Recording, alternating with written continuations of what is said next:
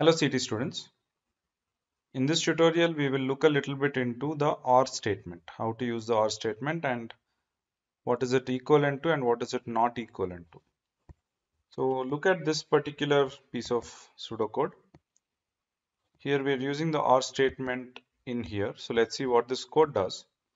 We're initializing a variable called count to 0 and while pile 1 has more cards so as long as there are more cards in that pile what pile is this? What data set? So here we are looking at the part of speech. So this is the words data set we are using.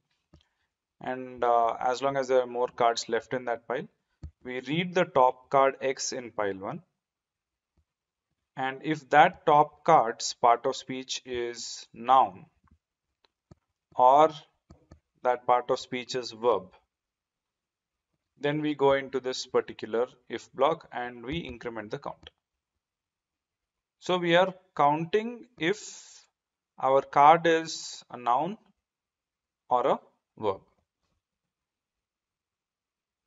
And then we move this card to pile 2 and we go on to pile 1 checking if pile 1 has more cards. So what is happening here if your card is either a noun or a verb your count will increment. That means at the end of the code, you will get the total number of nouns and verbs put together as your count variable, which is identical to this code. Here also we are initializing count to 0 and we are going through the cards in pile 1 and we are reading the top card. And what are we doing? We are writing one if statement where we are checking if the part of speech is noun and we are incrementing count. And then we are checking if the part of speech is verb and then we are incrementing count. So if your card is either a noun or a verb, your count will be incremented, which is exactly what is happening in this code. So these two are equivalent pieces of code. However, this doesn't always play out like this. So consider a situation like this. Here, let's look at this piece of code now. While pile 1 has more cards, we are looking at x dot mathematics and x dot physics. So this is the score data set. And while pile 1 has more cards, read the top card, which is what we are doing. We're picking a card from the pile. And we are now checking if the mathematics score in that card is greater than 90 or the physics score in that card is greater than 90. So if at least one of them is greater than 90, so this is what an OR statement does. If you give it two conditions, A or B, it will check for at least one condition being true. If A is true and B is not, then the OR statement is still true. Similarly, if A is not true and B is true, then the OR statement is still true. This is contrasted with the AND statement where it checks for both conditions to be true. So here if the student has greater than 90 in maths but not necessarily greater than 90 in physics, this OR statement is still true and we increment the count. So what is happening in this piece of pseudocode is we are counting the number of cards where at least one of maths or physics is greater than 90. If both are greater than 90, you still just count that one time. Now look at this piece of code which is exactly written like the previous example where we check for each condition independently and then we increment count.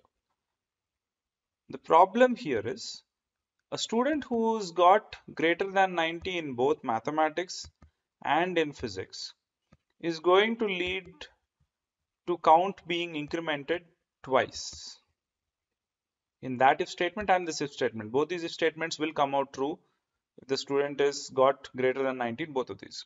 So count is incremented twice here. Whereas in this piece of code count is incremented only once even though the student has greater than 90 scores in both subjects.